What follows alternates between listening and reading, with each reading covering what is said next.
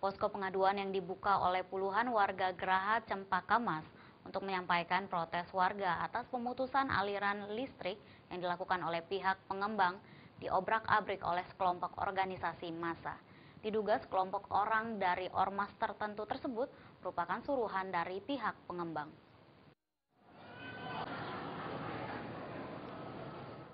Beginilah suasana posko pengaduan yang dibuka oleh pengurus perkumpulan warga Geraha Cempaka Mas terlihat berantakan usai terjadinya pembubaran paksa oleh sekelompok organisasi massa. Bangku yang dipergunakan sebagai ruang tunggu bagi warga yang ingin melakukan pengaduan terlihat berantakan di halaman depan Tower A1, Geraha Cempaka Mas, Cempaka Putih, Jakarta Pusat. Seorang warga yang merupakan pengurus posko, Ferry Johan, mengaku dirinya mengalami luka pada bagian jarinya saat menangkis pukulan salah satu anggota ormas yang hendak membubarkan pertemuan tersebut. Menurut Ferry, warga menduga bahwa pelaku pengeroyokan posko warga merupakan ormas suruhan pihak pengembang.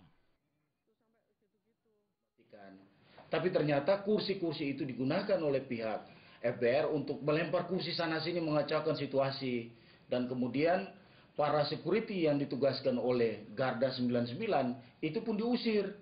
Tapi yang lucunya, justru ketika mereka melakukan pengusiran itu bersama-sama dengan pihak kepolisian.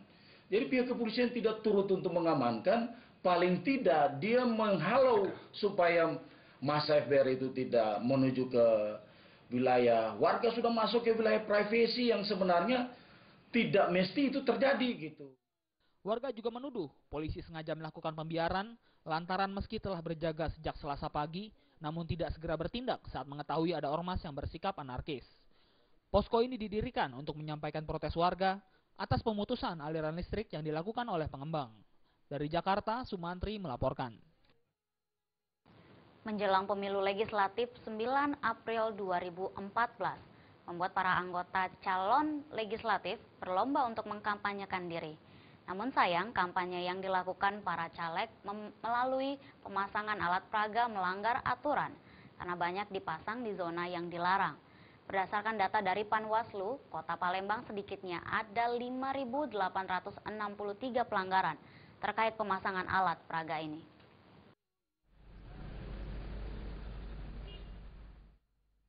Bukan hanya mengganggu keindahan dan kerapihan kota, pemasangan atribut kampanye tersebut merupakan pelanggaran pemilu.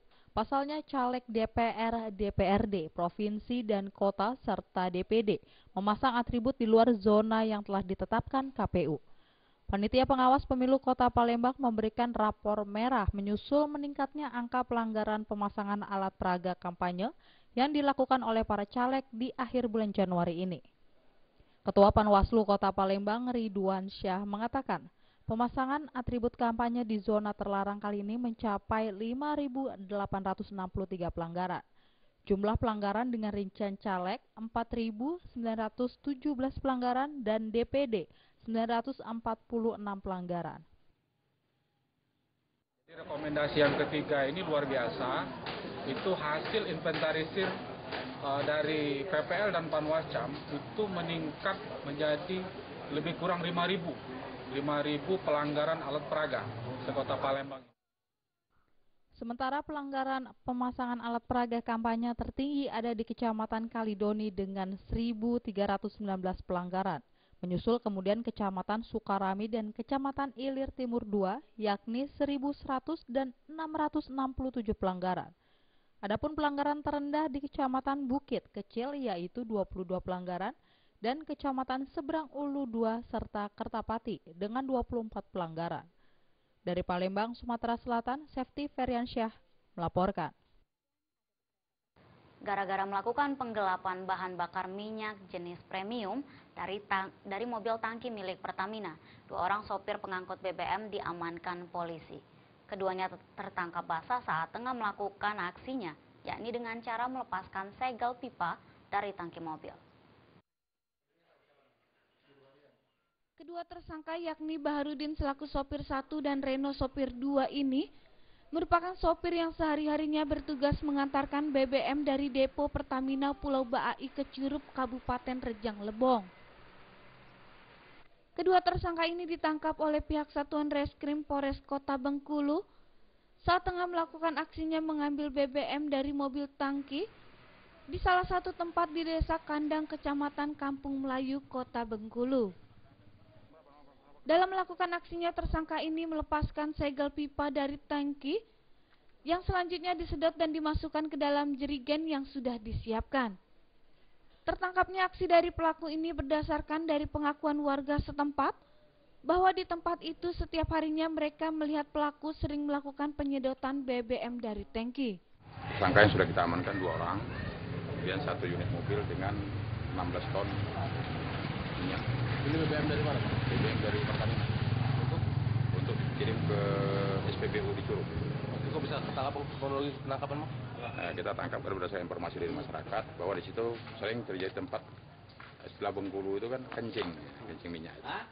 Dari pengakuan tersangka minyak ini biasanya mereka jual kepada pengecer seharga 6.500 per liternya dan lebihnya untuk konsumsi pribadi.